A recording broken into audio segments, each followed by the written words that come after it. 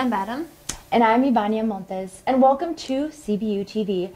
Our first story addresses a tragedy that took place in Riverside near Liberty Elementary School. A babysitter and a two-year-old passed away after getting hit by a vehicle. I was able to speak to a resident who lives in the neighborhood where the crime was committed. The memorial continues for Hilia Morales, a babysitter, as well as a two year old little boy that she babysat, as they were both struck by a vehicle as they were picking up his older sister here at Liberty Elementary. As you can see behind me, the community has been gathering pictures and flowers and candles just to remember the two individuals. Not to mention, the community has also started a rosary where they're asking people to come and pray for the losses of these two individuals. I had a chance to speak with the lady lady that lives the house directly where the incident took place. Para mí yo pido justicia. Por el niño, simplemente por el niño, porque yo también tengo muchos niños aquí cuidando y no puedo saber.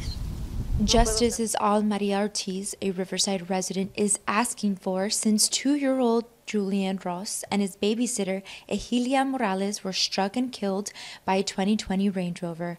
Morales and the two year old were picking up his seven year old sister from Liberty Elementary.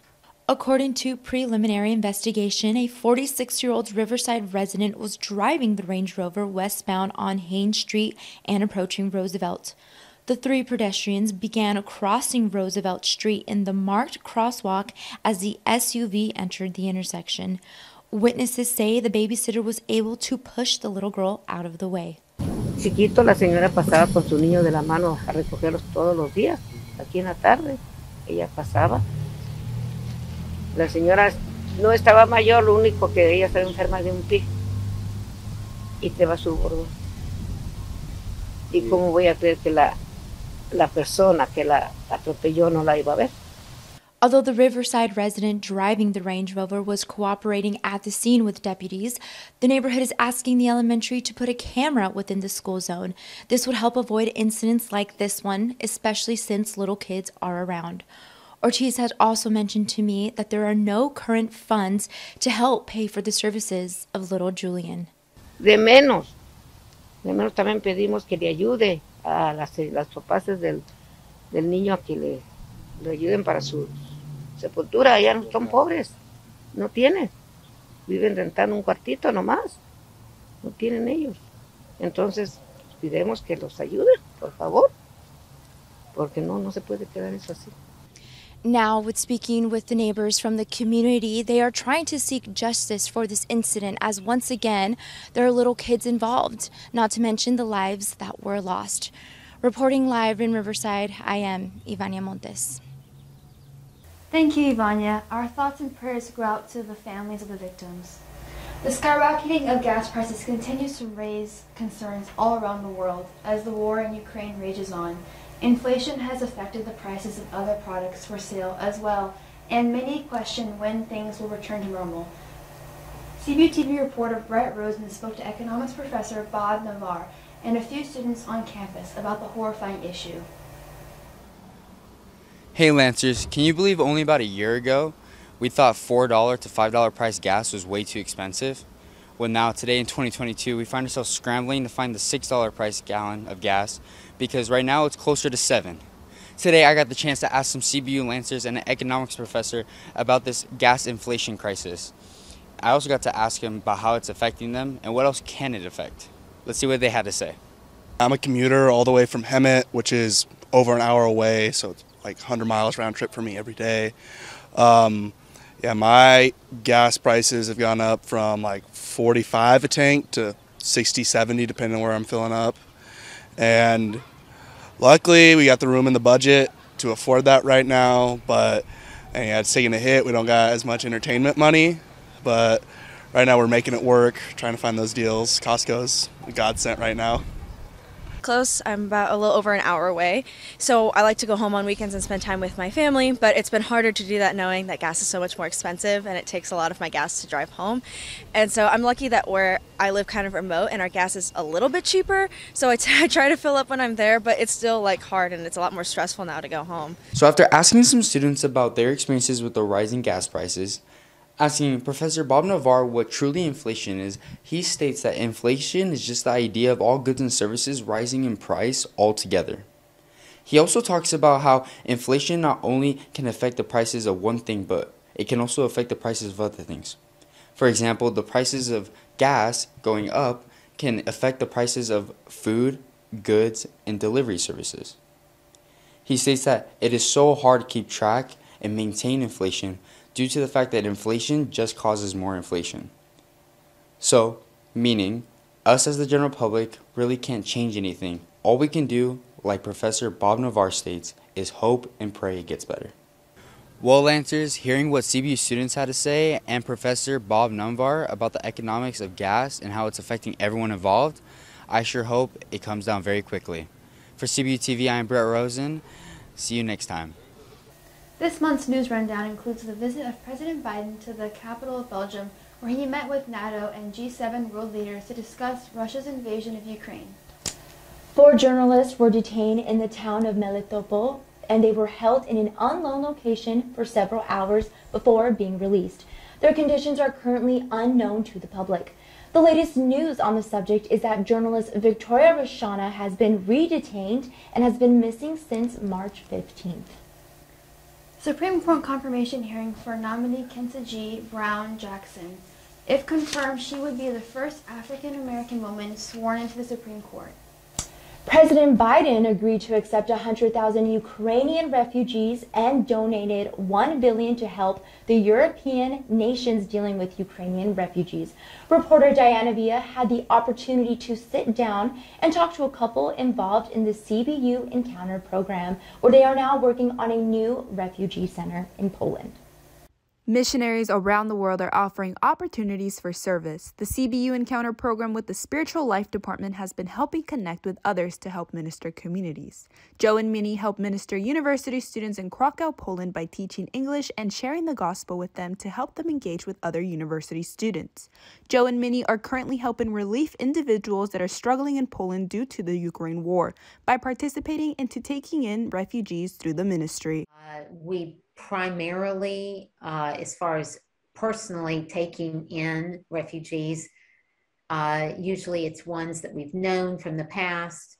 Uh, we are uh, constantly searching for uh, accommodations for them, whether it be temporary for two to three days or, you know, a month or long term.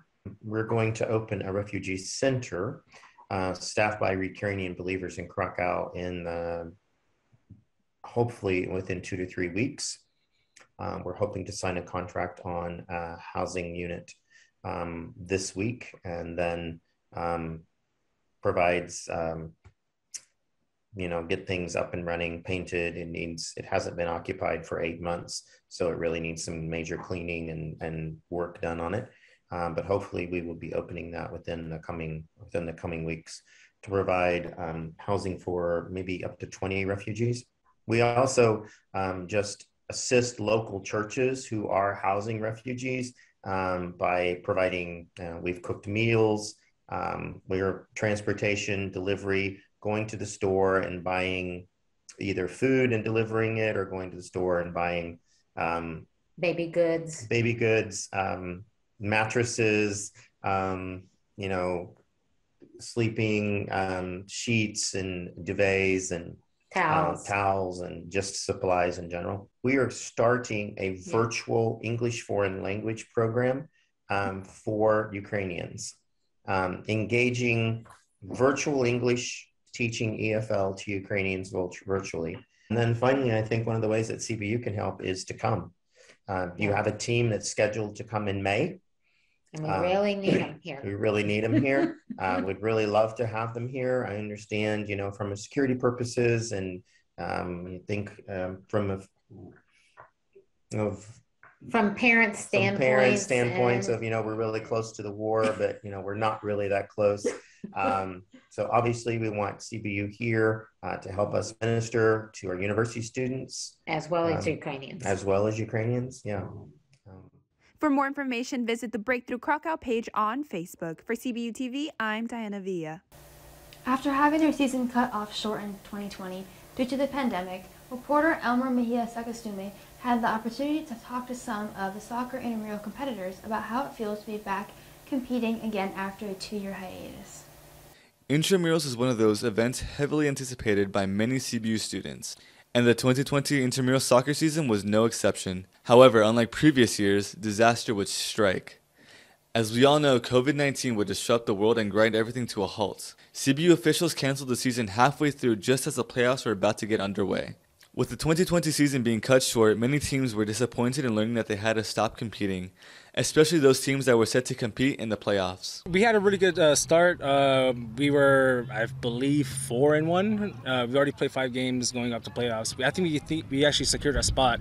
Um, but yeah, that the team was very. Uh, uh, we had the potential, and after the pandemic hit, uh, I was hoping for this this whole school semester not to get canceled, but unfortunately it got canceled, you know. So um, I was a bit devastated, but uh, this was my sophomore year, and I was praying that uh, that uh, I get to have at least one more season, which right now we are having one more season. So. The 2022 intramural season is currently underway and it has reached the halfway point. There are only two games left for each team until the playoffs start. While attending the games, I talked to many of the student athletes, and they've all said how excited and a blessing it is to be back playing against each other. But who will win the intramural trophy in the end? Right now, at first, I thought um, England was going to take it, but uh, or even South Korea. Like uh, I always, I sort of saw uh, South Korea and uh, England have a potential of uh, of uh, making it into the finals. But you know, what you know, anything can happen at this point, and they both had a slow start. So as of now, from my um, from my uh, personal opinion, I think either Zambia or um, or Kenya at the finals. But maybe the best one win at this point. So I can't I can't say what who's going to win, but I actually want to see both of them play as well. No. But who will win the intramural trophy in the end? So far, the top five teams being England, Portugal, Kenya, Zambia, and Ireland all look strong and have a great chance of winning the trophy. It's going to be exciting watching these amazing games play out in the playoffs. That's all the intramural sports we have for you so far. For CBTV, I'm Elmer Mejia Sagastume. Wow, it's going to be exciting to see who ends up getting the trophy in the end. With more exciting news, the Festival of Colors is back again. Reporter Wyatt McElmurray attended the Festival of Colors to talk about its significance to CBU. Hey Lancers, we're here at the Festivals of Colors today where CBU gets to meet Indians culture and come together and celebrate. I got to sit down with Courtney Watson to get a little bit deeper meaning on what the Festival of Colors is all about. Let's get into it. So what is the Festival of Colors and what yeah. it's all about? Yeah, great. Uh, Festival of Color is an opportunity for us to highlight one of the second, actually the second largest uh, international population on campus, which is students from India. So um, we try to take elements of Indian culture, like food, dancing, uh, performances, um, bartering, and then we incorporate that into the actual event. So students are given fake Indian money and they can go and barter for goods to get either chai or samosas. They can get henna tattoos, temporary henna tattoos. um, and it's also an opportunity for the international students from India to get up on stage to show off their culture a little bit, either through dancing or singing. Um, usually there's some sort of group flash mob, so mm-hmm. uh, which is appropriate for a country as colorful and as fun as India. Um, and then at the end of the event, they have uh, a giant color throw. So um, in India, to celebrate the start of spring, kids will go out and will throw color and water at each other. It's a game that they play. And so we've adopted part of that at CBU. We don't do the water piece, but mm-hmm. we do the color throw. And how do you think that affects like with the relationships with students that are from America and are from India, just like coming together in this culture event? Mm. How do you how's the bond formed there? Mm. That's a really good question. And that's one of the things that we get most excited for at, here at the International Center is seeing domestic students get to taste culture that they may not be familiar with and then gain a better understanding for it. Um, so we've seen our domestic students absolutely have their worldview expanded by getting to be at events like Festival of Color or Lunar New Year, for example, which is about Chinese and Asian culture. Um, and so it's really exciting to see them learn how to barter a little bit or taste a samosa for the first time mm. and these things that are so common to Indian, their Indian friends, they're now getting a chance to see what it's actually like. For CBU TV, I'm Wyatt McElmurray. It's exciting to have the Festive Colors back again on campus. Our very own reporter Ignacio Dominguez and I attended the LA Fashion Week in which they were helping support Ukraine. Let's check out how they're doing that. LA Fashion Week this year returned with several designers at the Majestic in downtown Los Angeles. Designers like Fernando Alberto Atelier from Honduras, Jelena George Malsovic from Serbia, Jonathan Guzman from the US, and Wilfredo Gerardo from Mexico, to name a few. The show, put on by Art Hearts Fashion in Los Angeles, began March 17th and ended March 20th, highlighting and exhibiting each designer's work on the runway. The Arts Hearts Fashion team hosted four days of runways in downtown Los Angeles. The fashion show not only featured ways, but also a variety of art on display at the show. A portion of the proceeds from their ticket sales for the runways is going to support the war effort in Ukraine. Reporting from downtown LA, for CBU TV, I am Ignacio Dominguez. Reporter Marquise Brown brought us a very special story all the way from Manhattan, in New York. He spoke to the owner of a plant nursery called Soil Vibes. Her goal is to connect all types of people and cultures together through their love of plants. Let's check it out. New York City's economy is heavily supported by the domestic and international tourists who visit the city annually. According to the 2019 New York Census Bureau, roughly 390,000 workers declared that their primary source of income was from the city's tourism industry. Unfortunately, the decline of travelers to the city in past years has resulted in high rates of unemployment and an increased enclosure among smaller self owned businesses. The reopening of the United States in November of last year has sparked hope in the business owners of New York, who have been patiently waiting for the return of travelers since March of 2020. Small self owned businesses, especially, have taken a hit from the little travel coming into the state, but are determined to get through this difficult period of time. Shauna Taylor is a Manhattan resident and business owner of Soil Vibes, a small plant nursery located just minutes away from the hustle of Times Square. Her shop is located on 6th Avenue and West 37th Street in the Herald Square District Shopping Center. She describes her vision for Soil Vibes as being a space of authenticity where people can come as themselves and bond with others who share a love for plants. I wanted to create a space where, you know, people can come, pick a plant, talk, be regular, you know, mm. you know, no judgment zone here mm. and just, you know, get in tune with yourself, get in tune with nature and just, you know, be a vibe.